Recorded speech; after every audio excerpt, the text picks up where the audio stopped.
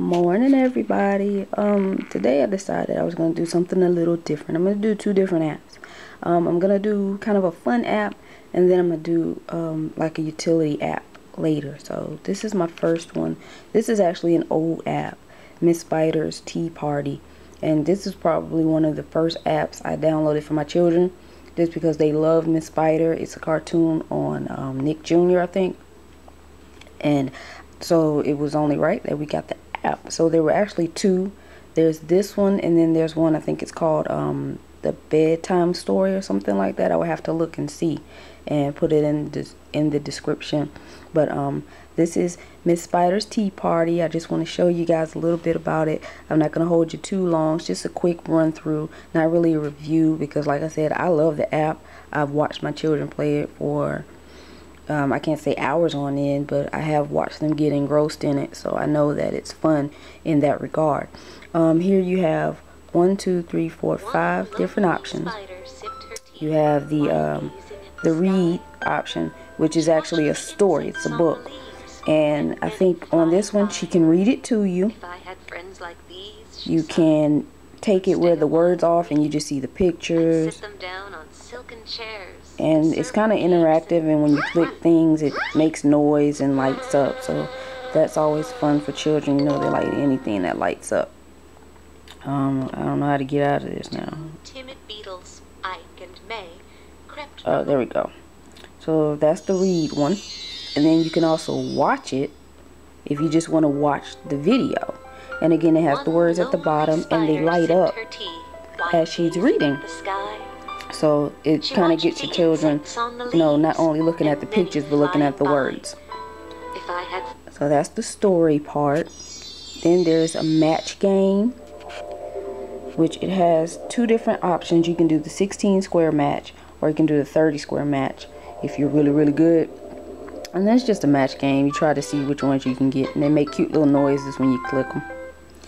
Then there's a paint, where they give you pictures, to paint or you know color in or whatever.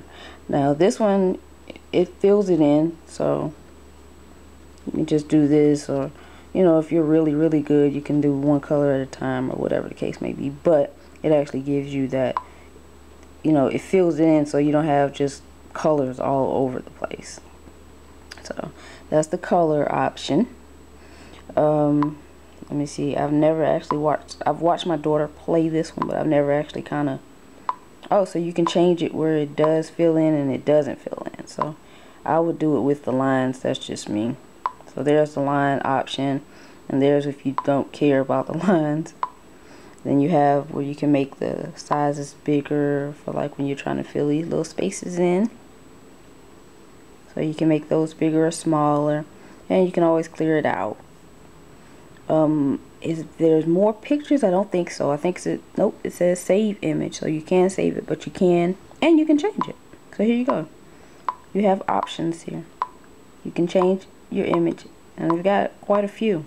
So there's coloring for days, and then you can save it if you want to save your pictures and post them or whatever. If you just want to save them and print them out for your children okay and then the last option is a puzzle and this is the one my daughter who is two she loves this one even though she really couldn't get it at first and it was always I need your finger but now she's pretty good at it so she doesn't need me. Um, this one has two options also you have six pieces and 12 pieces and there are six puzzles that you can do. And here's the 12 piece if you know for more experienced children and then I think you click there you go. You click the puzzle and it takes all the pieces out and then now you have to solve the puzzle. You know just like a normal um, jigsaw puzzle. There you go. Doesn't take long at all. Yep. I like puzzles so I don't mind doing this one.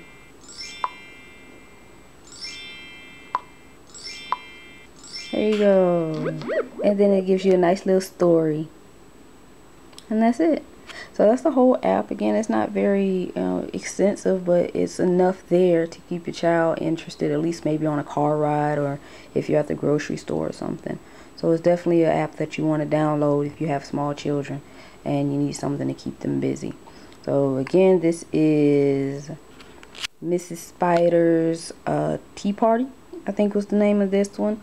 Check the description um, on our blog for the links to get this particular app as well as the um, the other Miss Spider app. And I hope you enjoyed our review or our walkthrough. And we'll see you guys on the next review.